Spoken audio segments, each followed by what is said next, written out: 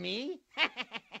Nobody is. Wario, here. Come on, I have a question. Here. Wario, here. Come on, I have a question. Here. Ah, you, the short guy. Yes, Stan, SDR FM radio, Sugar Daddy radio, Stan the man. Wario, what do you really think of your rival Mario? Well, Stanny the Manny, you are you cuckoo crazy mind to ask me a question like that.